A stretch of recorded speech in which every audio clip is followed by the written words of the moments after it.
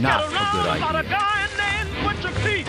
Old Pete just flew into this town and he's chopping up all the women's meat.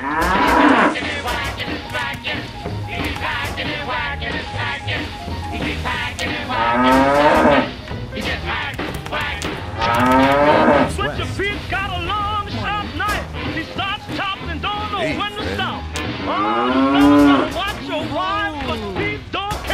coming with the chops. clouds.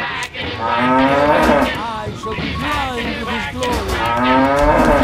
Ears shall be stricken deaf to hear the thunder of his voice. Let the men, women, and children of the earth come forth to gather and behold the power of Atom.